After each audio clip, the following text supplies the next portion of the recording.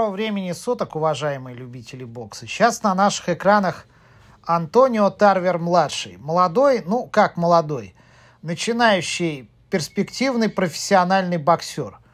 Антонио Тарвер-младший, как вы уже догадались, сын Антонио Тарвера, того самого, который нокаутировал Роя Джонса и потом был чемпионом мира в полутяжелом весе.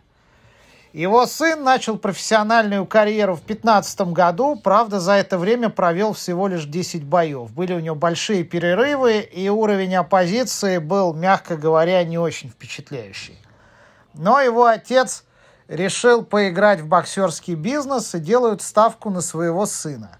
Рекорд Тарвера-младшего на момент этого боя 10-0, 6 побед нокаутом. И вот Антонио Тарвер-старший решил рискнуть. Вот афиша боя, дорога к титулу, это называется событие.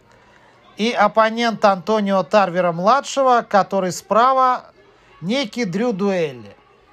Рекорд Дрю Дуэлли 11 побед и 2 ничьих, 11 побед нокаутом. Что интересно, дуэли две ничьих – это его два первых боя. Он одержал, а потом он выигрывал исключительно досрочно. То есть, вроде бы, конечно, это достаточный риск для этих тарверов, но, с другой стороны, уровень оппозиции дуэли такой совершенно не впечатляющий. По-моему, только два его оппонента имели так называемый положительный рекорд. Но у Антонио Тарвера-младшего примерно такая же картина – то есть мы видим, если грубо говорить, то два проспекта, набившие свой рекорд на мешках, пытаются установить, кто же из них все-таки, возможно, пойдет куда-то далеко. Это десятираундовый бой в первом среднем весе. На кону малозначительный титул NABF. Главное событие вот этого боксерского вечера, которое устраивает Тарвер Папа, идет восьмой раунд. И вот сейчас Посмотрите внимательно, что будет. В атаке Тервер-младший попадает слева очень жестко. Нокдаун.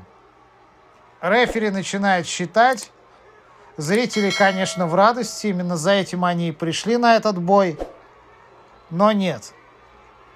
Антонио Тарвер старший написал потом в соцсетях, что это претендент на нокаут года. Ну как вы думаете, может это быть нокаутом года?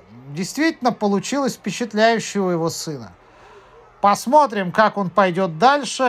Как вы считаете, есть какие-нибудь шансы у Тарвера-младшего стать чемпионом мира, как его отец? Напишите свое мнение в комментариях, если оно у вас есть. Поставьте лайк, подпишитесь на канал. А с вами был Дмитрий. Всем доброго, удачи. До новых встреч.